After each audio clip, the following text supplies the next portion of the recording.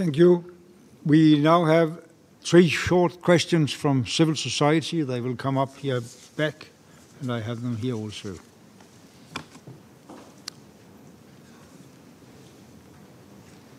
aziwai ndinonzi netsai mushonga uye ndinobva kuzimbabwe ndinoshanda newomen peacemakers program mubvunzo mungatijekeserewo here kuti muchaita sei kuti mapazi eun ashande kuderedza militarization munyika dzedu uye nekukurudzira kudzikiswa kwemazimari ari kushandiswa kunadzira nekutengesa zvombo pasi rino maita basa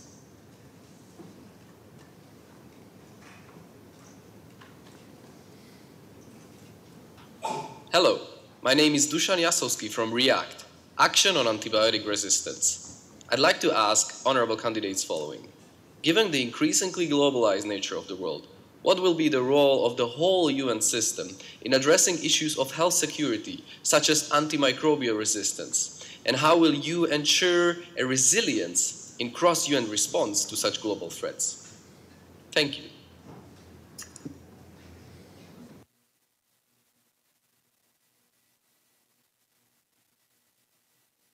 My name is Sharon Bhagwan Rolls. I'm the Executive Producer Director of FemLink Pacific, based in the Fiji Islands.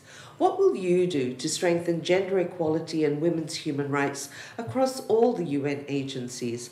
And how will you demonstrate collaboration with women's rights and feminist groups, especially in the Global South?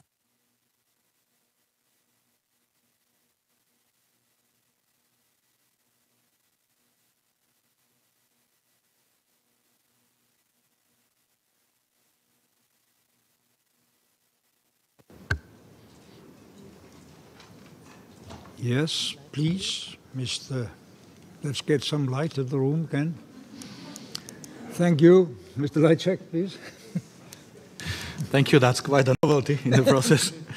Uh, but I'm glad that the civil societies have the chance to participate in this process because, as I said, they are part of our everyday lives and they uh, actively participate in number of our activities and they help us in many areas by doing things we uh, cannot do or simply because they do it better.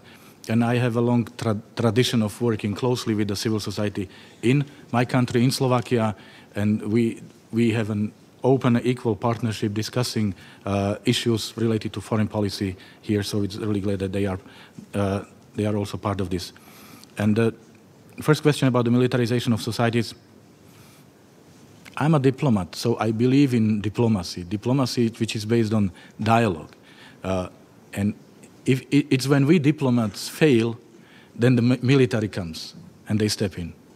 But every time there is a military intervention, that means that diplomacy failed. But in the end, it has to be diplomacy again, because we have to find a, a solution that would be sustainable, that would be durable. So for me, the militarization of societies shows that something must be wrong. That means there is no proper development in the society, no proper dialogue. People are feeling excluded. Uh, people don't, don't see perspective for themselves. It's an extremely, extremely dangerous phenomena, of course. Now, being formal, I would say we have to 100% implement our own uh, conventions, non-proliferation non treaties, uh, make sure that the weapons uh, and particularly weapons of mass, mass destruction, but all kinds of weapons do not fall into the hands of non-state actors, terrorist groups, because this is where we lose control and this is what endangers the peaceful lives of our citizens. That's extremely important. But the step beyond that is, again, invest in, into young people, in, invest into their education, invest into their understanding of today's world, in, invest into knowledge, invest into tolerance. That's extremely important. And make women part of this effort again, because their role is irreplaceable. So uh, having a positive agenda, and we have a positive agenda right now, and believing that we, we are ready and we have all that's needed to implement on our positive agenda, I really hope that we, we, it will result also into the demilitarization, of course, gradual demilitarization of the world around us, and we will be able to engage uh, in positive issues and issues of improving the lives of our citizens. And the Sustainable Development Goals are exactly the plan of action and the program for us for the 15th year, for 15 years from now. We must not fail. Because the MDGs were first attempt, now we say that they were not comprehensive. They, and we implemented half of them. Here, each of the 17 goals is extremely important because the, they are of different priorities for different countries who are facing different needs. So we need to implement them in their entirety.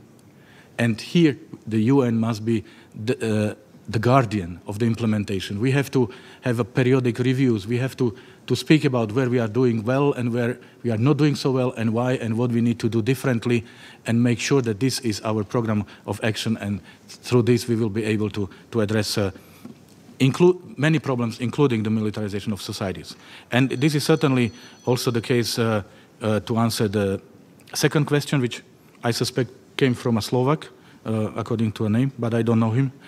Uh, health is one of the of the of the Sustainable Development Goals, so there is no doubt that it's uh, it's one of our priorities, and we have to work uh, we, with the World Health Organization, with regional organizations, with national governments, to address uh, the particular needs uh, wherever they appear. I believe we should learn lessons from uh, the, the recent Ebola uh, virus and crisis or the current Zika crisis and to, to be better prepared and to be able to prevent, to be able to react immediately, to be able to, to, to join forces and join capacities so that uh, we manage Ebola crisis relatively well, would I say, but it took us too long to get there. So let us make sure that we have proper analysis of what we did right and what we didn't, and make sure that next time uh, we have a uh, epidemics or, or, major health uh, crises, we are able to act rather than to react immediately. And the issue about the gender equality, we have to promote gender equality, in all our societies. We come from different countries with different background, with different history, with different traditions, but we are all equal. And we must stand for the equality. We must fight for the equality. We must not allow any, any form of discrimination, particularly not the one which is based on gender. And we have to do our utmost that everybody feels included and the, the, the, the, women can play a full role in their societies and they can use uh, their special capacities and their, and their, special qualities. And I can refer to the uh, Sustainable Development Goals because it is all there, but I don't want to speak in a bureaucratic language. We, this must not be a technical exercise. It's really a blueprint for changing this planet, to make it this a better place to live. It's our responsibility towards our citizens. And we must wake up every morning thinking about the Sustainable Development Goals uh, and about what have we already done, how, have, how are we doing, how are we implementing.